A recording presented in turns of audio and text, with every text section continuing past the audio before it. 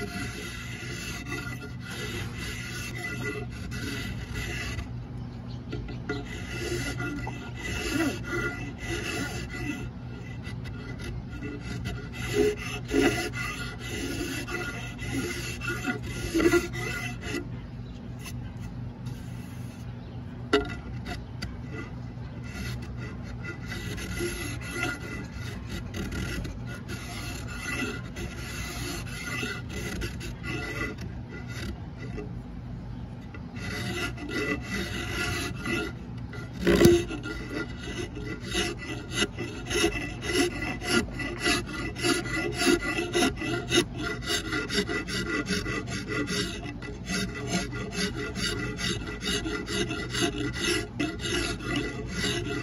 Oh,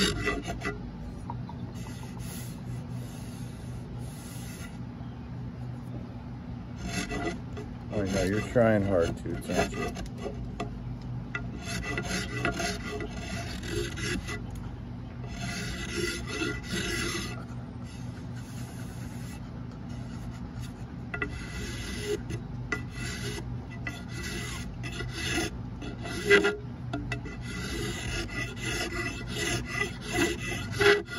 That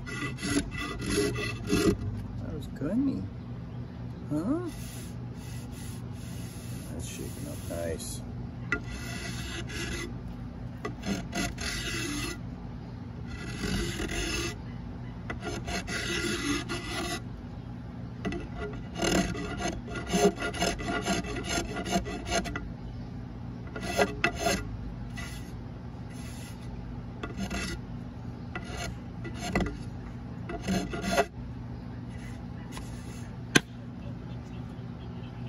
Is a new technique I've been working on. Um, I revisited some of my uh, Japanese um, carpentry books. The Japanese have a different philosophy about the way they work their wood.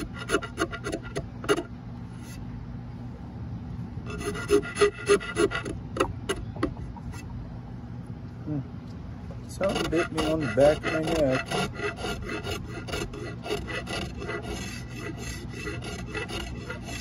And I am taking off minuscule amounts. This is a this is a handled design. So I'm just being really careful. This palm swell's not done. Now if you remember in uh, I'm not sure how far back it is, but this is the one that uh, this was the curved board that we matched up the the uh, pattern to the board, not oh shoot, not the other way around. Um, and uh, so I've been kind of doting on this and figuring out what I'm going to do. Um,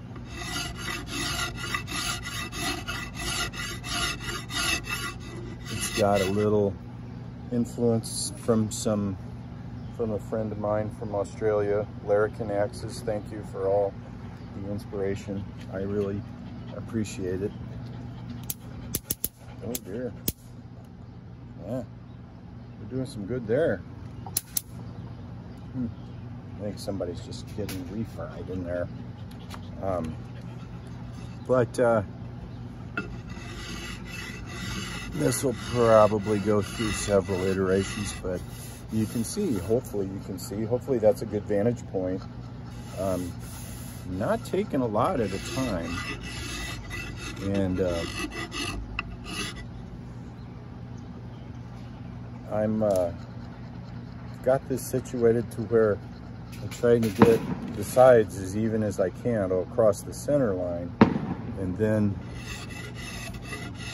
um, you take some off on one side and you take some off the other side. So you're consistently working either side of the center line. Um, and it seems to be pretty nice. And you're able to, when you get a shape to where you want, you're able to work the whole handle um, up and down. And it's, it's eliminating the lumpy lumpy. Uh, but yeah, just being slow and methodical. Um, there's a spot.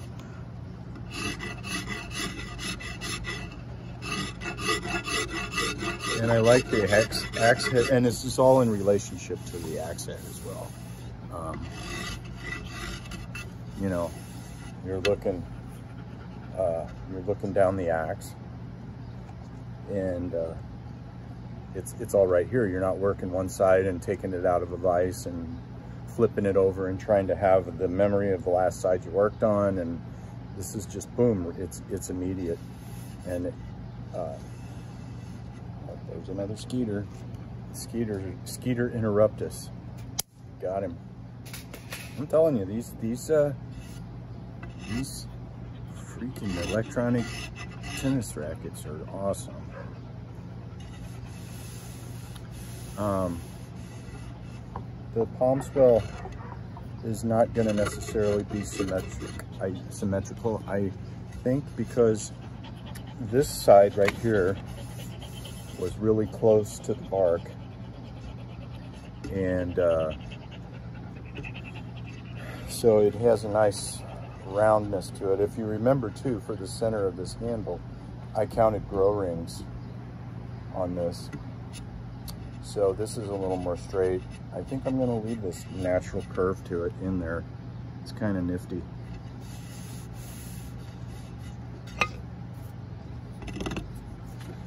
Um, but I like the axe dug in. Because if you get too much waggle, you're not being gentle enough. Um, you'll get another file, a finer file.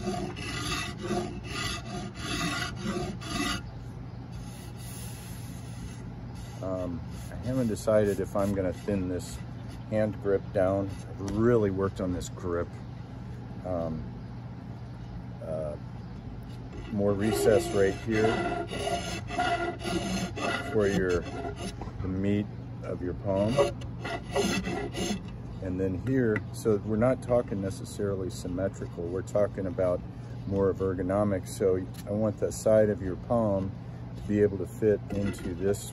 And then I want, uh, I may need to work on this side a little bit more, but this this is more for, this bit right here is more for your, uh, for your grip, for your pinky. So they're not gonna be the same. They'll be similar, but not the same. This is not a production axe.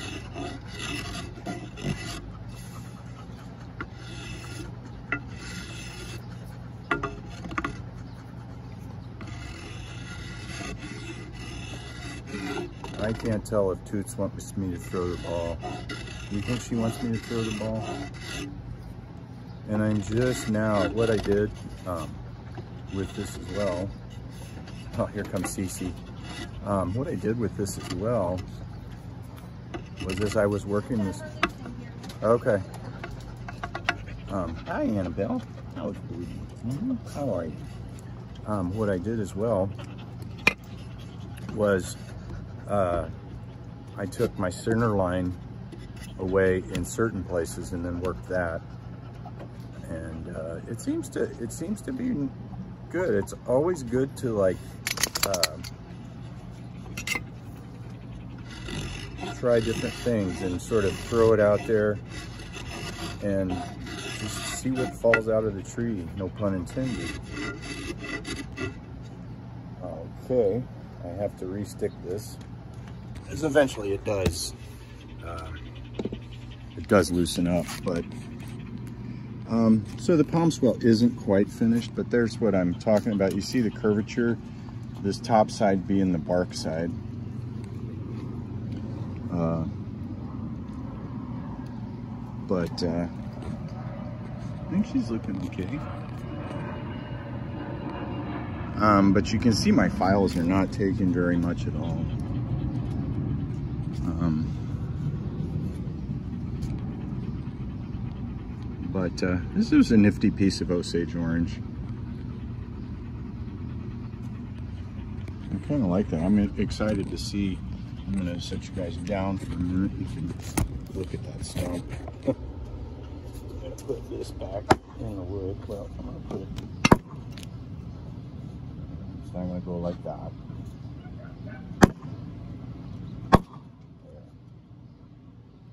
Now we're okay. Cece, you do. Let's get you under here. I got one spot I see. Whoa, watch out. Oh, crap.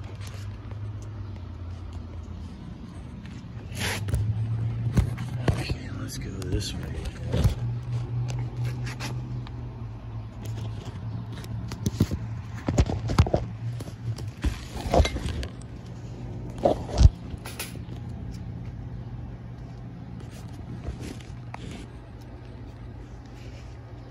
Yeah, let's see. Let's see how that does.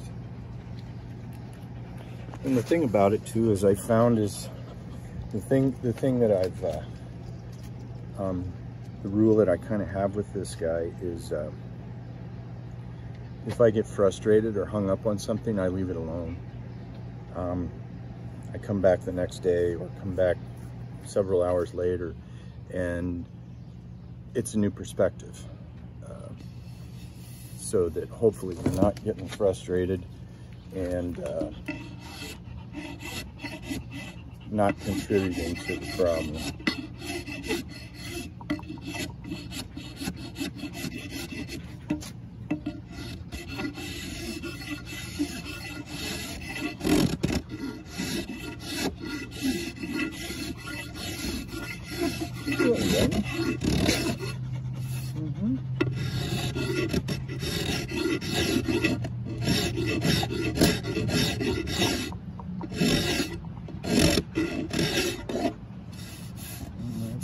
pretty nice.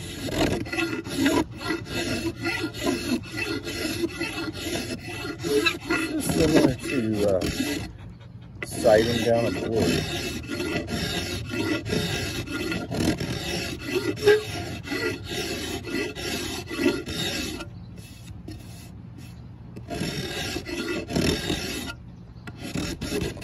See, now I'm in the zone of uh,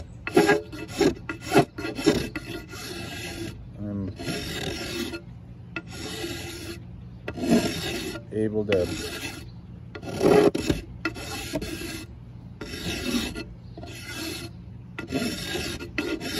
work on both sides at the same time. And the idea is to only, you know, match stroke for stroke. Hold on, I may have to go inside. These guys are terrible.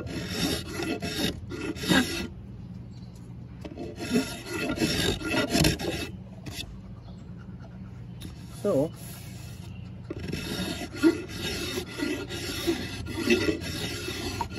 I already have this where I want it, but uh, I'm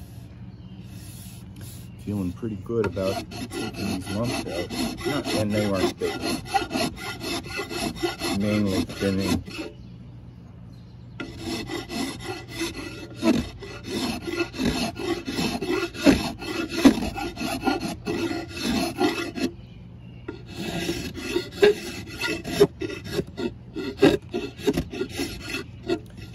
other thing too, just the other obvious test when you're out here at the stump,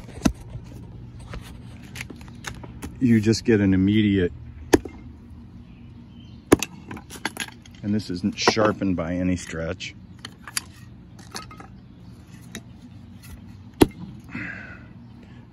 You can kind of feel how the handle's going, but, uh, and I have some shaping to do. I can't get it to stick with one hand.